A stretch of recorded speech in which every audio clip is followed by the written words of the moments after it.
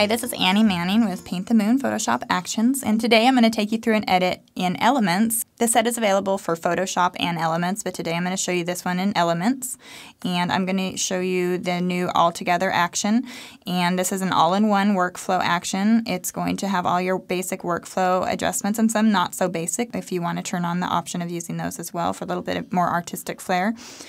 Uh, the one I'm going to use on this image today is uh, just the clean process one. There are also three others. Uh, the All Together Velvet Retro, which is one of the most popular artistic actions in that set, and the All Together Urban and the All Together Vintage. And all of those run all of your workflow adjustments in one action, and then at the end, it will give you the artistic edit on top of that. So everything is done for you in one action.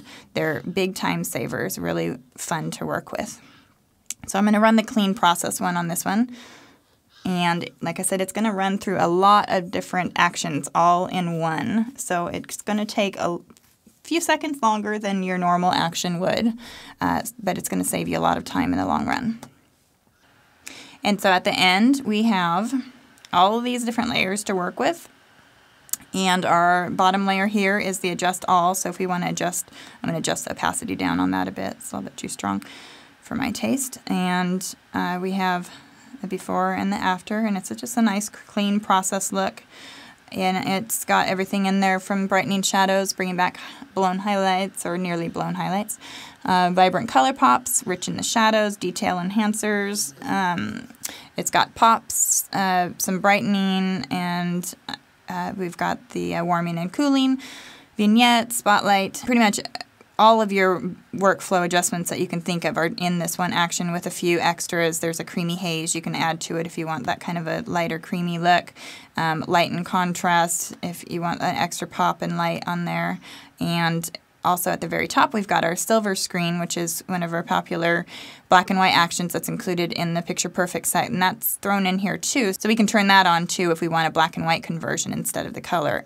But you've got, got all of your basic adjustments and some not so basic uh, in here, some really detailed, uh, complex things being done in there, and very, very quickly and all at one all, all in one action. So it's really going to save you a lot of time in your workflow the before and the after. It's a nice, clean process.